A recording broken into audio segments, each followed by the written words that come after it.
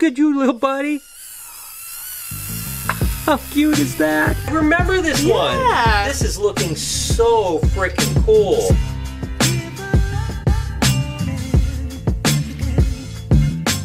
Hey, good morning, everybody. How's your day today? I hope that it's going absolutely incredible. As for me, I'm just hanging out with this little leopard gecko here, which is really beautiful. And I've done a lot of things on leopard geckos in the past, but the one thing I wanted to kind of talk about a little bit is what's the difference between a $20 leopard gecko and a $500 leopard gecko. With a $500 leopard gecko, are you getting a better leopard gecko or something? So we're gonna go ahead and dove into that a little bit and show you some amazing leopard geckos and talk a little bit about them. I hope that you guys will enjoy it and I hope that we can have an amazing day together. Let's just push all our problems aside and just focus on this cute, adorable little face right here for the next 12 or 15 minutes. Oh, go ahead in the comments and let me know if you like leopard geckos and what's your favorite morph of leopard gecko if you have one. If not, hopefully you will find one in this vlog. And while you're down there, can you smash that like button for me? Let's go ahead and get gecko crazy. Before we jump into value and all those other things about leopard geckos, let's just go ahead and talk about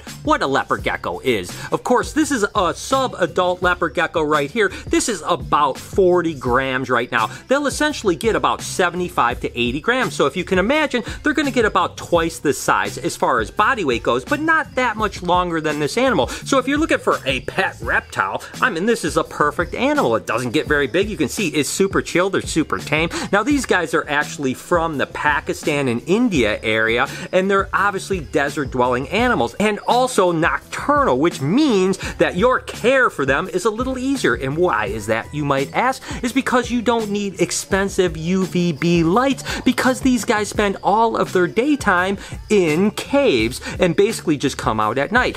But with that being said, they definitely need vitamins and nutrition because they don't get their natural vitamins from the sun. So it's very important to dust your crickets or supplement your food in some way so that they're getting enough vitamins. Now we use a multivitamin and a calcium supplement and we mix actually three parts of multivitamin to every one part of calcium. That makes it so that they don't get something that's called MBD, which is metabolic bone disease. That is something you don't want your pet leopard gecko to have for sure. Other than that, they're absolutely easy animals. Keep a hot spot of about 90 to 95 degrees. Cool side can be 78 to 82. They need a nice little moist hiding spot. We use Reptile Prime, and as a matter of fact, we have a brand new Reptile Prime product coming out that is perfect for the leopard gecko hides. I'm going to tell you more about that in the next couple days. Now that we've got the boring stuff over about how awesome leopard geckos is, what's the difference between a $20 leopard gecko and a $500 leopard gecko? So this little dude right here is basically what you would find out in the wilds of leopard geckoville. And it's basically just a normal leopard gecko. And these guys are absolutely gorgeous.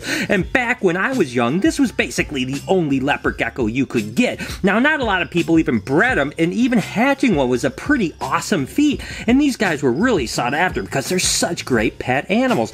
But the truth is, is that now they're being produced by the thousands, and even hundreds of thousands, to be totally honest with you, here in America. We produce about six to 8,000 babies per year. Now, most of the ones we produce are a little bit more of a designer animal, but the truth is, is that a leopard gecko, whoa, where are you going, little buddy? The truth is, a leopard gecko is a leopard gecko is a leopard gecko. I mean, they're all the exact same animals, but these normal ones, just like this little monkey right here, is only about 20 to $30 as a baby. So they're a very inexpensive pet. And now in pet shops all across the country, you can typically find something just like my little buddy right here, and you can get them really inexpensively. And they're really great animals. Now, I'm gonna go ahead and show you some higher end animals, and the truth is, is they're the exact same animal 100%. Same care, the same everything. The only difference is they're a little bit rare and the paint job is a little different. One of the things that make leopard geckos so absolutely amazing is that there's kind of all levels. There's the entry level that's 20 or $30, and that there's really leopard geckos that sell for thousands of dollars. That's right, thousands of dollars. And we work with some of them, but basically our high-end leopard gecko at the moment here is about $500 or something like that. But this animal here, which is actually a Mack Snow Bell albino possible eclipse, you know, this animal right here would be about 150 to $200. And you can see it looks a little bit different than the normal I showed you, but it's the same exact animal. I mean, it's got the same care, it's got the same mentality, it's super cute and adorable, it's just got a little bit of a different paint job to it. And that's just the genetics on it. Now, I've talked about leopard gecko at nauseum in the vlog at times, so I will link a couple things down in the description if you're interested in the genetics behind it. So maybe some of the lingo that I am speaking right now, you'd be like, what are you talking about, Brian? What is a Mack Snow or what is a Bell Albino? You can go ahead and watch those videos and you can learn a little bit about it because today I'm really talking about the value of the animals in the sense that what's the difference and what makes an animal worth $150 as opposed to $20. But just because the price changes doesn't mean that the animal is any different or the care of the animal is any different. It just means that if you want something that's a little bit more rare, you have to pay a little bit more for it. Let's go ahead and look at, say, a dog, for instance. If you want a mixed breed from the pound, you might have to pay a little bit for an adoption fee. But if you want a really high-end purebred, it's going to cost you thousands of dollars, sometimes even tens of thousands of dollars. Now, I'm not saying that that pure breed $10,000 dog is better than that mixed breed that you got from the pound. In some cases, it's the opposite. But when it comes to reptiles, people are typically wanting to buy these kind of rare, cool things for a number of reasons. Number one, they might just really love the way they look. They might go, oh, look at you, little buddy. How cute is that? It's okay, little buddy.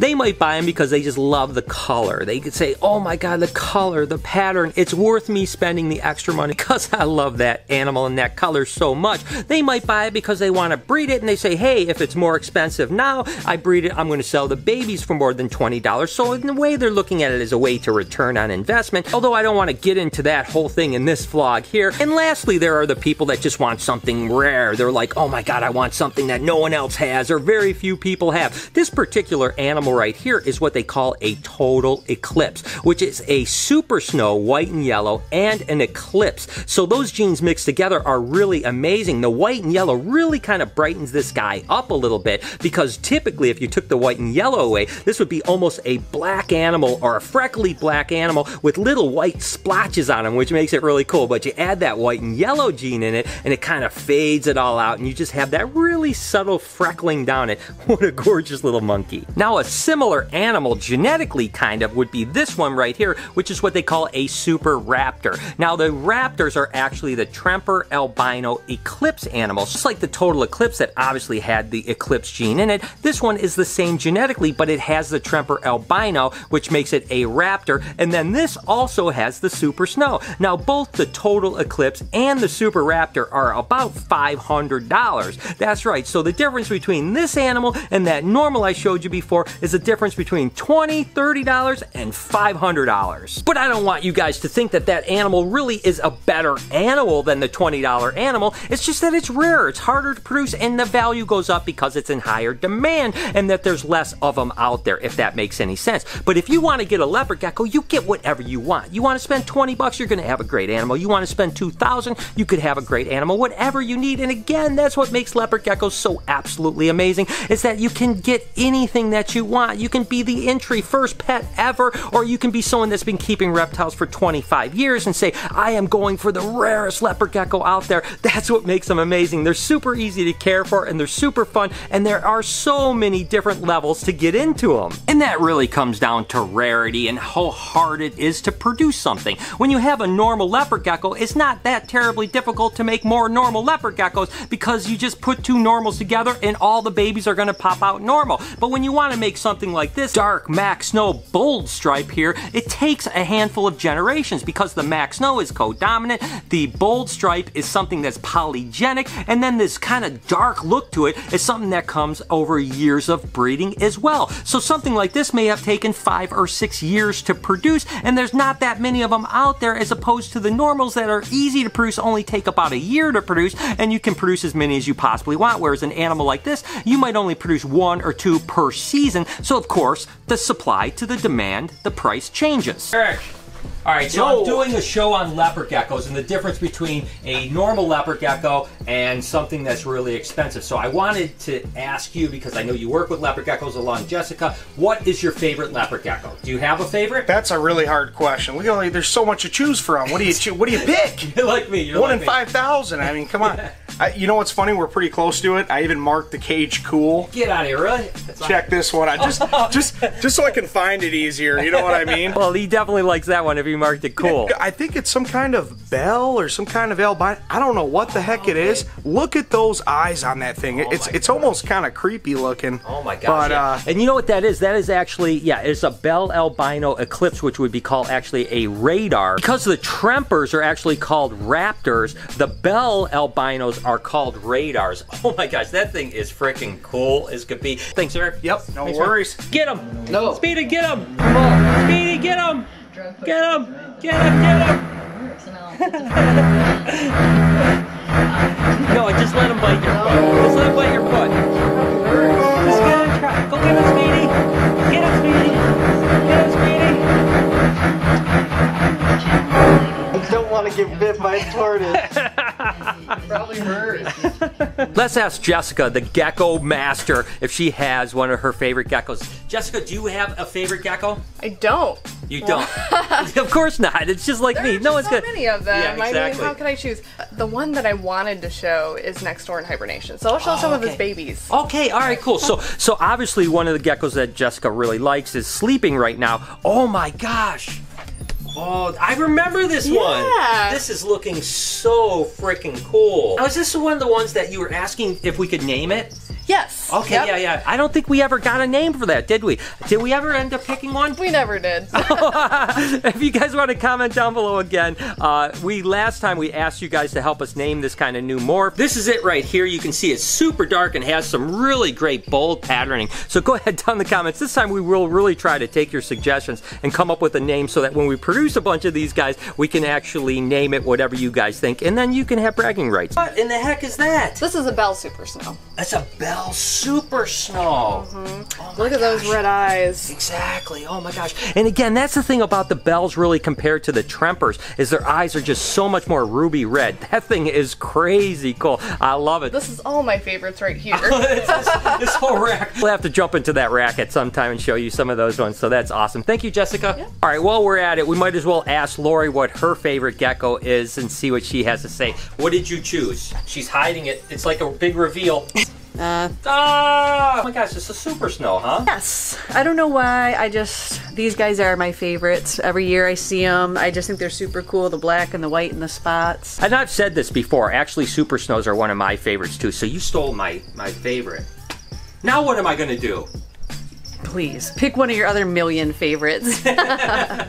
No, I do agree. I, there's something about the super snow, just that that combination between black and white, and just that really cool pattern with a little bit of striping on it. And they are pretty variable. I mean, some have a lot more speckling, some have less speckling. As a matter of fact, I'll show you guys a little later those really Dalmatian-y ones that I really love too. But uh, it's kind of the same thing, that super snow thing. So that's awesome. these guys usually have little white feet too, so it looks like they got little white socks on a lot. Yeah, exactly. it is it is absolutely cute. Here's one of those animals I was talking about. My kind of Dalmatian animals, much like the super snows that Lori loves so much. This is really a similar animal. It's just got the white and yellow gene, and sometimes the white and yellow gene will really wipe out all of the black dots as well. But in some cases, they stay like this. I've hatched out some really cool Dalmatian geckos this year. And as a matter of fact, Lori and Jessica sold my favorite one off, but nevertheless, they redeemed themselves by handing me a handful of ones that were almost as good. Absolutely beautiful animals like this. And I tell you what, out of all the leopard geckos I work with, and I love them all, I still just have a special place in my heart for these guys here. I just think they're absolutely incredible, and I hope you guys do too.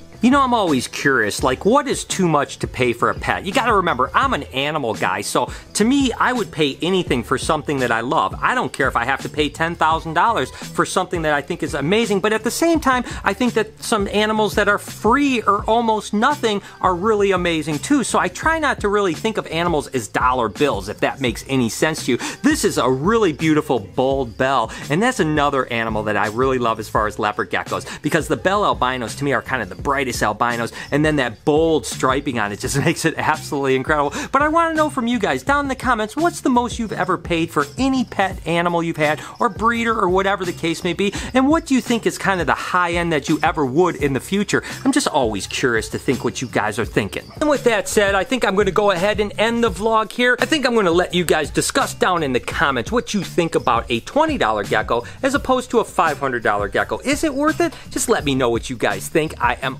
always curious to hear what you guys have to say, and I hope that you enjoyed today's vlog on it. Thank you so much for tuning in. You guys mean the world to me, and I love you so much. Can you do me a couple favors, please? Can you smash that like button as well as turn those post notifications on so you know when I upload a video, which is every day, seven days a week at 9 o'clock in the morning Eastern Standard Time? Remember to be kind to someone today, and I promise I'm going to see you guys tomorrow.